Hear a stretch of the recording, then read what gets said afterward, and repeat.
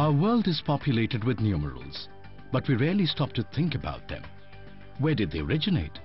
How did they evolve? Well, the answer is the numbers we use today evolved in India. And the story of how they moved across the world is a fascinating one.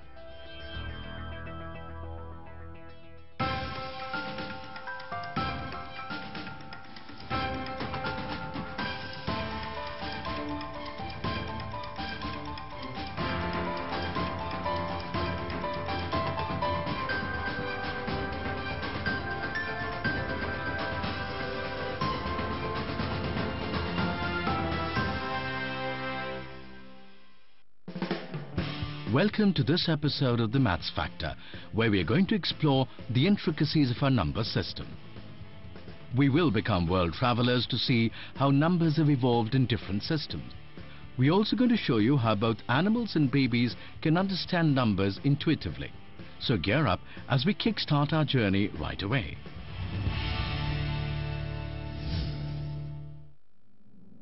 As civilization started to develop across the world, there surfaced the need for notation and for numerals, the need for keeping records. Before we start traveling, tracking these developments, let's see if you know the difference between numbers and numerals. Well, it's quite simple. The number is the idea. The numeral is the notation. The first stop on our journey is South America in the 1400s, the land of the Incas. This is Machu Picchu, the famous Inca site that lay forgotten for centuries. This urban creation is a testament to how advanced the Incas were as a civilization. They had roads, textiles, cities, agriculture and government. Now curiously, they seem to have had no written language. Now when the Spanish conquistadors landed in South America in 1532 CE, they found no sign of written numeral records. What they did find, huge amount of knotted ropes, like this. These were no normal ropes. In fact, they were called quipus. They were a way of recording information that were unique to this region.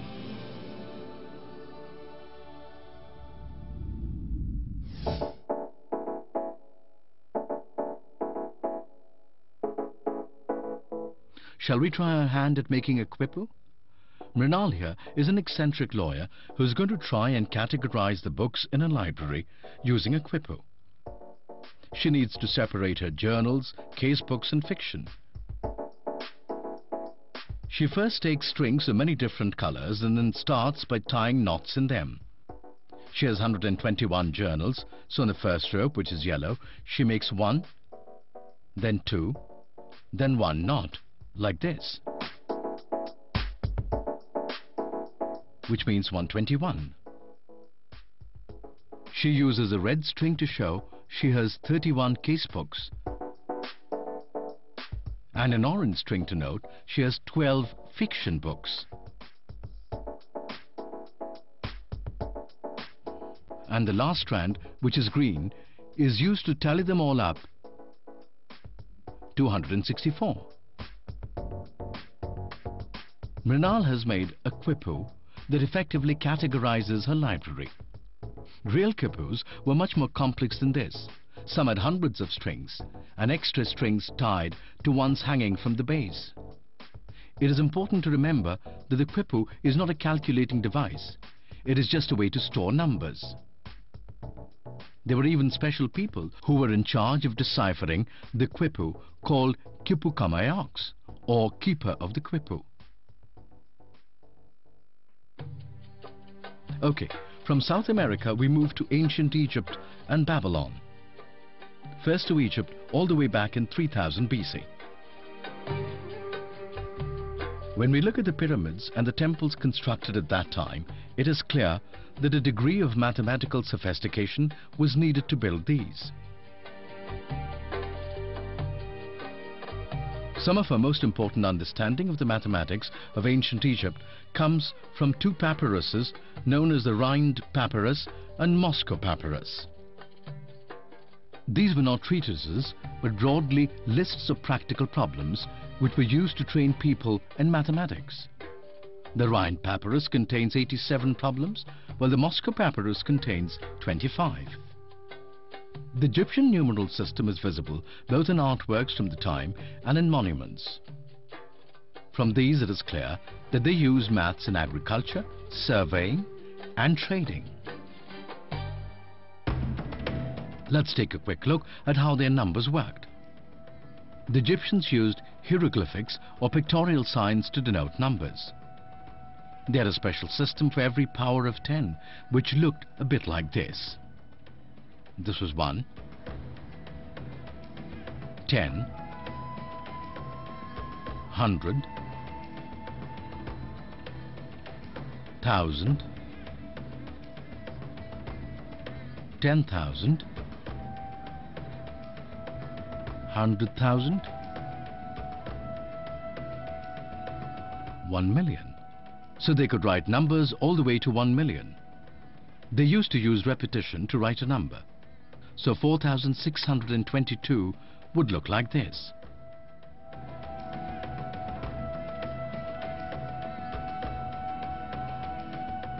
Now the problem arose because they did not have a place system.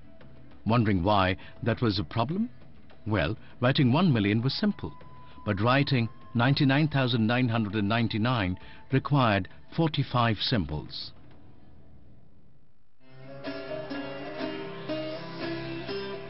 Let's move from Egypt to ancient Babylon, where numerals were developed about 5,000 years ago. Unlike the Egyptians who counted in groups of 10, the Babylonians counted in groups of 60.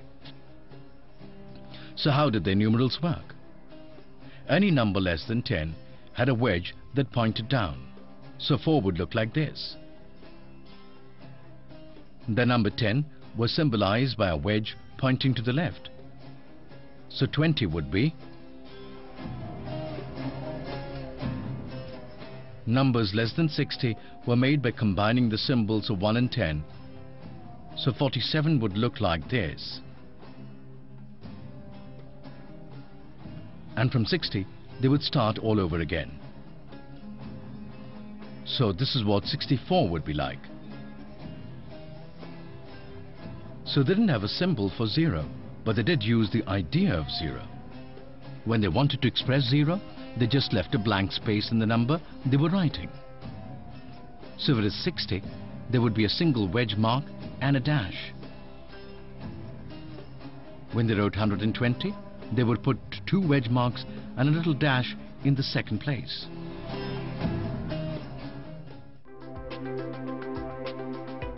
The Babylonian calendar worked in the unit of 60. Year had 360 days. Each day was divided into 24 hours, each hour into 60 minutes, and each minute to 60 seconds. And this form of counting has survived for 4,000 years.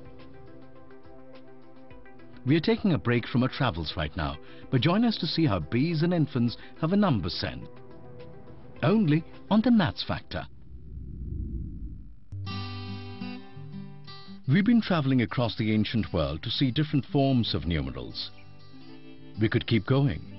The Mayans, the Greeks and the ancient Romans developed their own unique counting systems.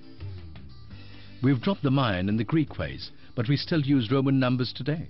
For clocks, to denote centuries, to suffix the names of kings and tombstones, etc.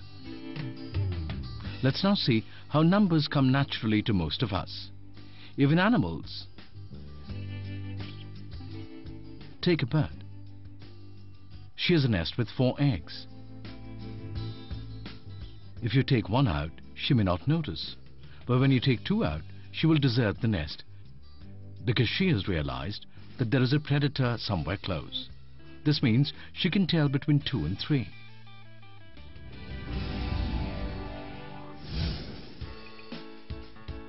Sounds random?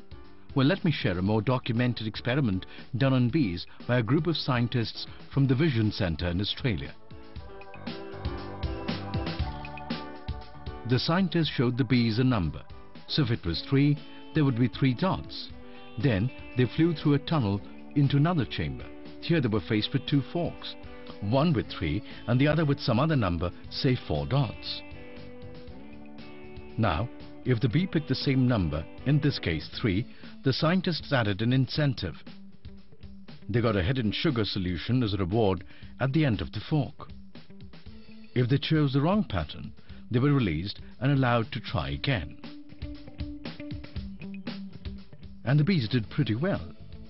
They were more often than not chose the same pattern that they had seen earlier. To show that they were recognizing numbers and not just shapes, the scientists would vary the representation of the number. So they would first show the bees three dots, and then the next fork would have three stars. By the end of the experiment, the scientists were able to conclude that the bees could count till 2, 3 and sometimes till 4. Similar experiments have been done with chicks, pigeons and monkeys to name a few. And from this we are able to conclude that animals are able to discriminate between small numbers.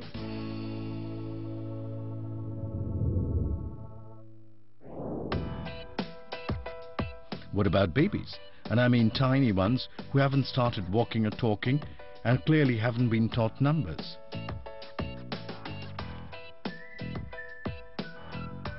Let's look at an experiment done by Karen Wynn, a scientist in the US, with a group of 32 five-month-old infants in 1992.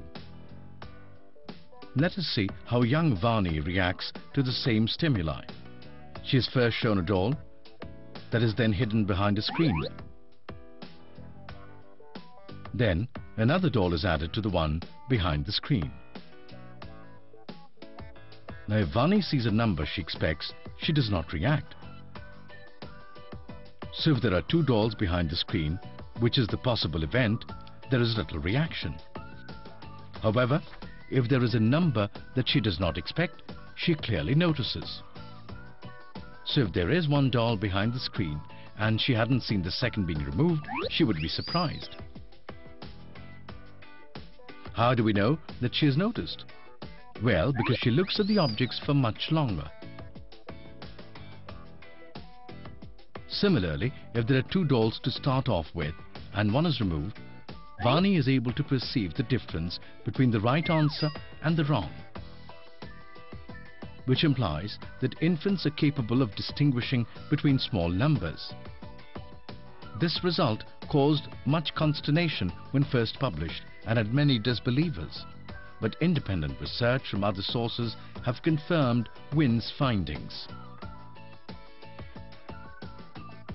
Great. So it looks like humans and animals both have an innate number sense.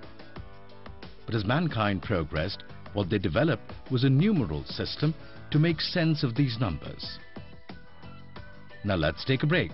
We'll be back to see how Indo-Arabic numerals developed in India and travelled and changed the way the world worked and looked at numbers. So join us very soon for the more numeric experiment only on the Maths Factor. Back on the Maths Factor, we are back to exploring the evolution of the numeral system. We've already seen how Egyptians, Babylonians, Incas and Romans handled numbers. But none of those systems are very much in vogue today. The system we use today, the system the whole world is familiar with, is known as the Indo-Arabic system. To explore the system, we'll need to travel to ancient India and explore the mathematics of this region. So what kinds of numerals were used in India? Some early evidence is found on columns erected in India by King Ashoka in about 250 BC. Similar inscriptions are found in caves near Pune 100 BC and Nasik 200 BC. These numerals appear in a script called Brahmi. The Brahmi script, which had notations for numbers 1 to 9 as well as distinct symbols for a host of other numbers. However, what they didn't use was a zero.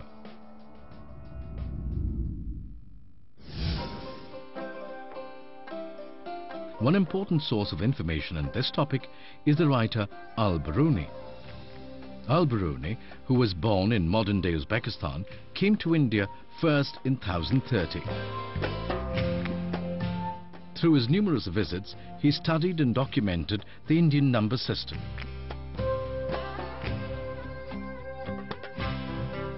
He realized that number systems often varied across different regions.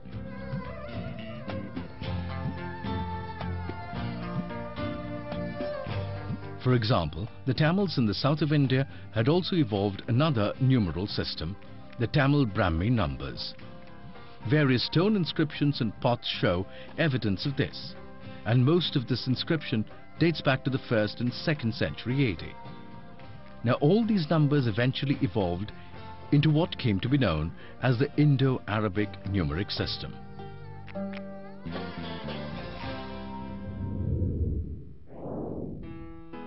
Let's explore how the system works. It has four defining characteristics. First, it uses 10 digits, 0, 1, 2, till 9. It groups these by 10, so 10 ones are replaced by 10. Similarly, 10 tens are replaced by 100, 10 hundreds are replaced by 1000, and so forth. Thirdly, it uses a place value, starting from right to left. So the first number represents how many ones there are, the second number represents how many tens there are, the third how many hundreds, and so on. So if we have 22 crayons, we will group two groups of 10 and we'll have two left over. We will write 22 like this. If we have 124 crayons, we have one group of 100, two groups of tens and four singles. We will write 124 like this. Finally, the system is additive and multiplicative. So if we take 124, the value of the numeral is found by multiplying each place value by its corresponding digit and then adding the resulting products. So the numeral value is equal to 1 into 100 plus 2 into 10 plus 4 into 1. 100 plus 20 plus 4, 124. It all sounds pretty simple and obvious, doesn't it? And that is exactly the advantage of the system. It makes maths simpler. How about zero? India was clearly familiar with the idea of zero. Let me give you some evidence. For that, we need to travel to the fort at Gwalior. Well, there is a stone tablet at the Gwalior fort that dates back to 876 AD. Now this tablet has a notation for zero. Not once, but twice. It mentions a piece of land that is 270 by 187 units long and in the number 50 which refers to a daily gift of 50 garlands. This is the first recorded evidence of the zero we use today. Though some believe that Indian mathematicians like Aryabhatta and Pingala knew about it earlier.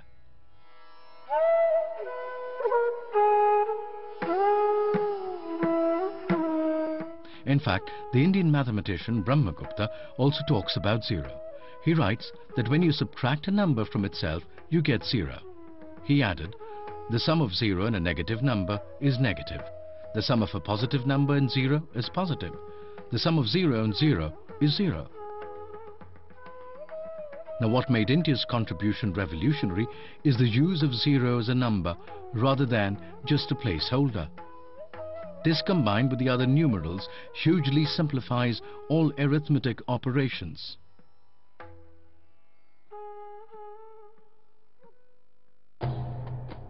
This knowledge travelled to Arabia, which was a huge centre of learning at the time. When the famous Persian mathematician Al-Khwarizmi studied the system, he immediately saw this could revolutionize mathematics.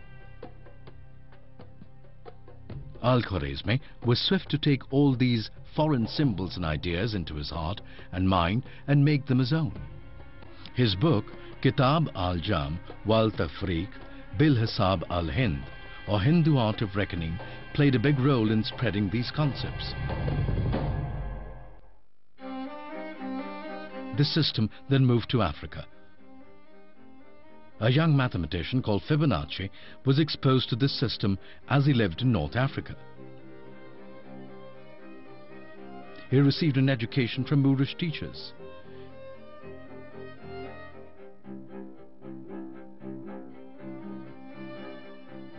He realized that Arabic merchants were able to calculate much faster than their European counterparts and realized that this was because they were using the Indo-Arabic system of numerals, which was clearly more efficient. Fibonacci quickly realized the advantages of this new system. When he returned to Pisa, he wrote a book that he finished in 1202 titled Liber Abaci, meaning Book of Calculating. This book dealt with the methods of arithmetic in the decimal system and it eventually persuaded European mathematicians to drop the old way in favor of the new. These two systems led to a divide in Europe. In fact, there used to be mathematical competitions between the two. On one side, there were the Abacists, who used an abacus, and on the other, Algorists, who used the newer Indo-Arabic systems. There's a 14th century manuscript of Boethius's The Consolations of Philosophy. There appears a well-known drawing of this kind of competition that is being judged by the goddess of numbers. Now Europe at this time was using the Roman numerals. So if you need to write the number 1999, this is how it would look. Now imagine adding and subtracting from this. Much easier to add from 1999, right? Now we know who finally won. By 1500 CE, the newer Indo-Arabic system had won and has persevered until today. The best way actually of seeing who won is by exploring the systems used today. Anywhere in the world, China, Arabia, Africa, Venezuela, languages, font, metaphors change, but the number systems are truly universal. That's all we have on numbers today.